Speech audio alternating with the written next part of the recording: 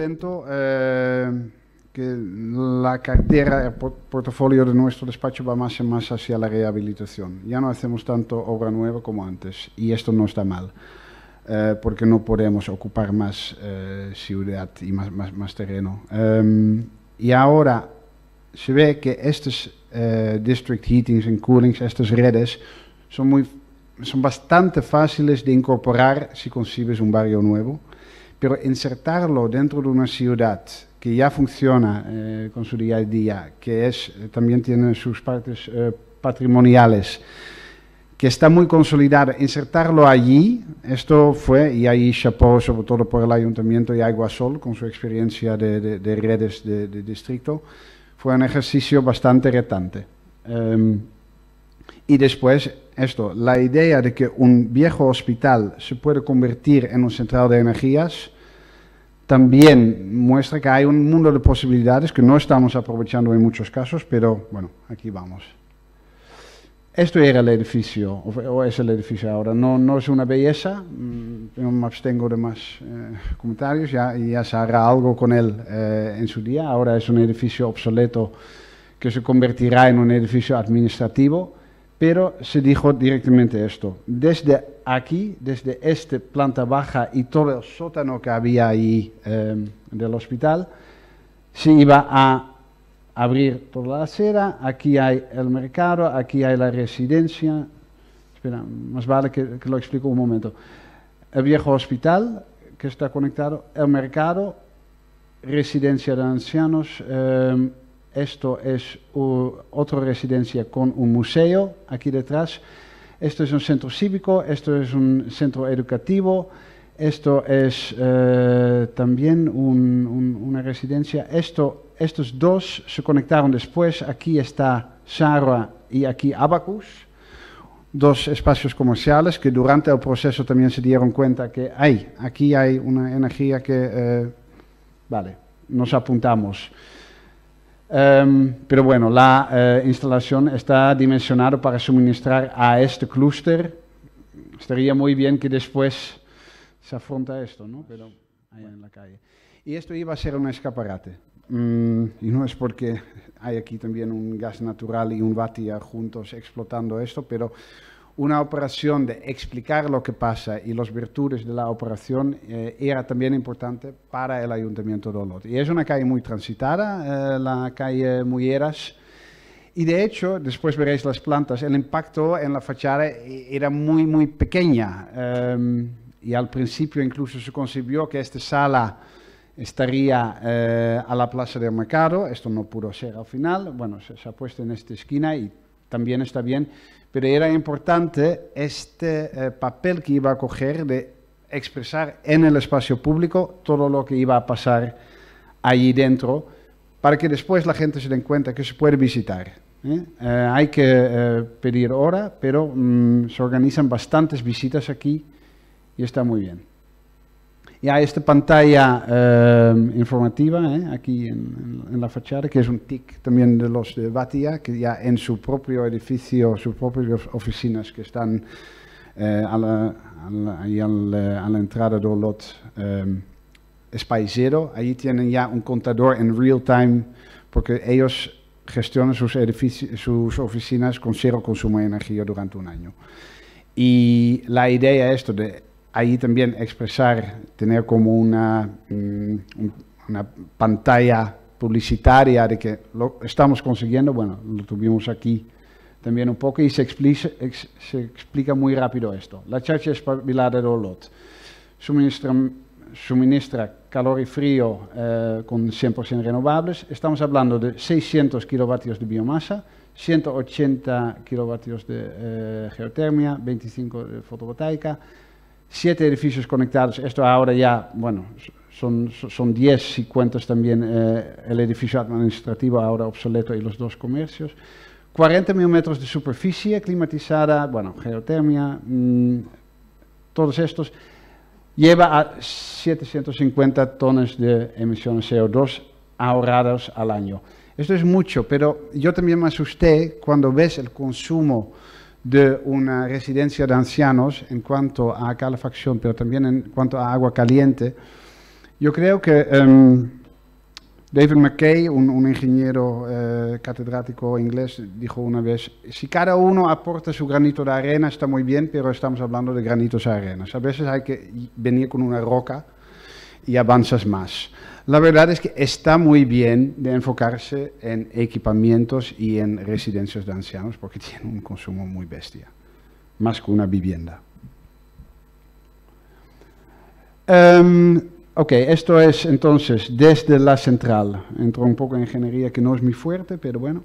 Em, desde la central se suministra, eh, recibimos desde las fotovoltaicas, recibimos desde la geotermia y hay eh, las calderas de biomasa y todo está, esto está conectado.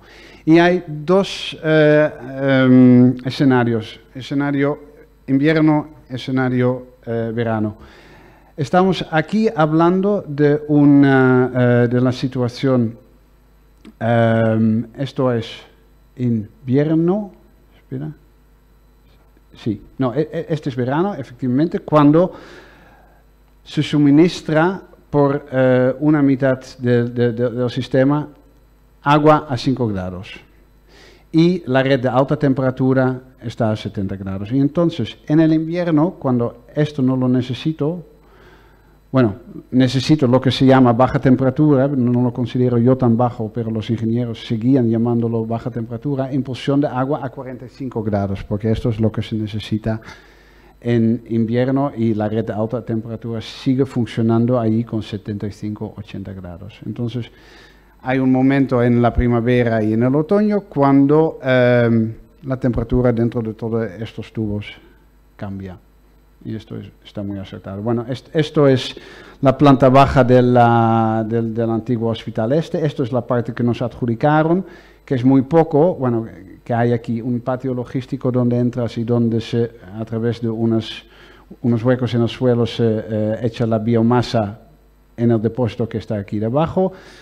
Unas ventanas que están puestos así que para que se pueda percibir lo que es la acumulación de calor de biomasa. Aquí está la entrada a la central.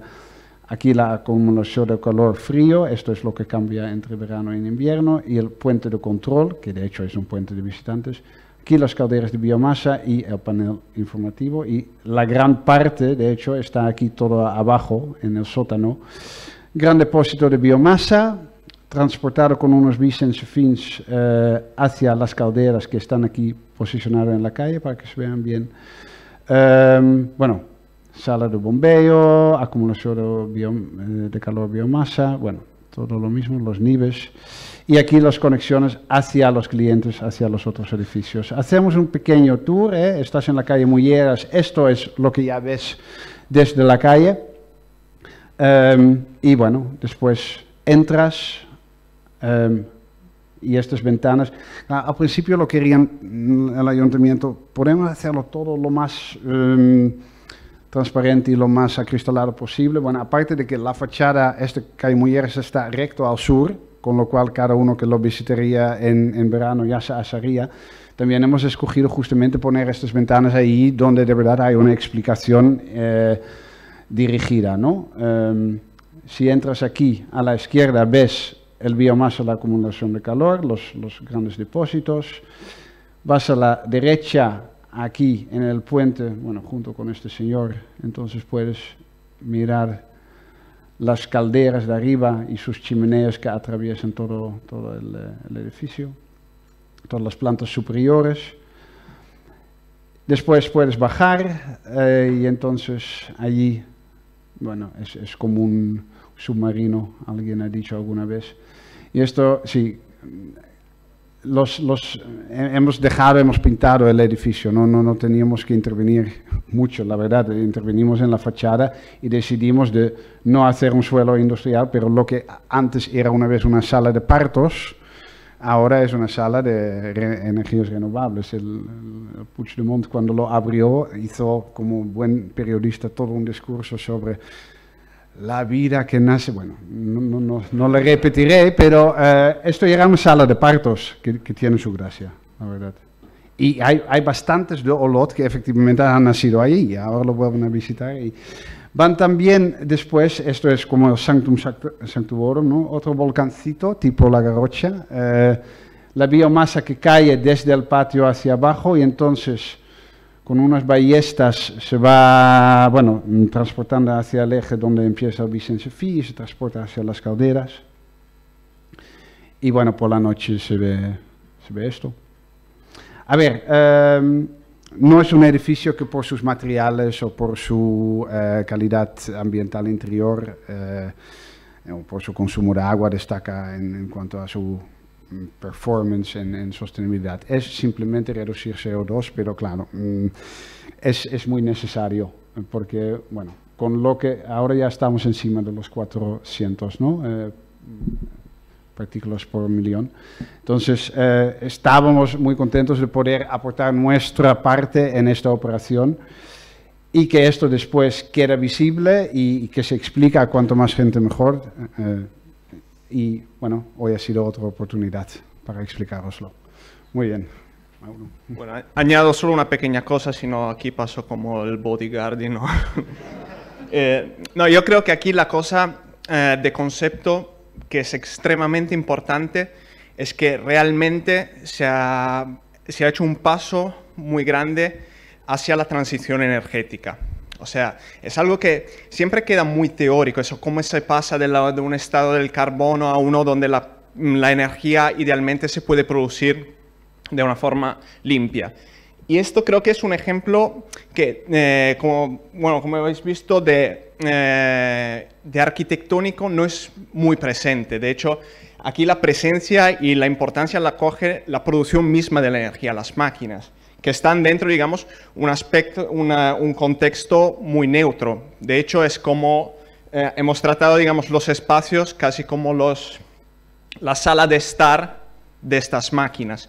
Pero aquí la energía, esto, la producción coge la importancia. Esto pasa dentro del centro histórico, o sea, estamos produciendo energía dentro del centro histórico. Normalmente la energía se produce fuera, se produce a muchos kilómetros con pérdidas de transporte y muchas otras cosas. Aquí estamos dentro de un centro histórico, la gente lo ve, la gente ve, es tangible y, eh, lo vive. O sea, toda esta transición energética es, real y aquí en Olot es real y la gente eh, lo puede ver, puede ver cómo, cómo, cómo funciona. Ahí había la, imagen muy buena del, eh, del Señor que se, que se acerca, bueno, y agradece. Aquí, en las calles, una más.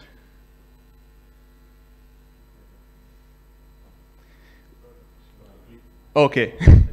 bueno, creo que esta es, eh, esta es mi, imagen favorita del proyecto, porque claro, aquí eh, se, se, ve como la, la, gente de, su, de, su, ciudad, de su pueblo, se hace propia la, eh, un tema energético.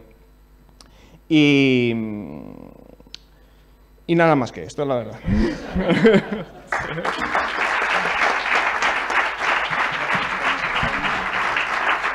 Gracias a Mauro y a, Sander por explicar el proyecto y cómo surge. Yo creo que es muy interesante ver cómo se plantea primero esta posibilidad del uso geotérmico al encontrarse, al excavar este mercado, cómo se dan cuenta desde el ayuntamiento que hay un clúster de edificios en los que se pueden producir, que pueden beneficiarse de este uso geotérmico, de cómo se apuesta también por la biomasa, por las características especiales que, cuenta ONO, de cómo hay un edificio vacío, este antiguo hospital, en el que se puede usar para generar esta nueva central de energías renovables esta red de frío y calor para todos estos edificios municipales. Es muy importante en el proyecto, y así lo ha remarcado ahora también Mauro en su intervención, el uso pedagógico que desde la propia instalación se puede realizar y de concienciar y de, aportar y explicar el proyecto y los beneficios que tiene esta red eh, de energías renovables para la ciudad y para, los usuarios. El ahorro de 750 toneladas eh, yo creo que es significativo de cómo han trabajado los dos escenarios invierno y verano.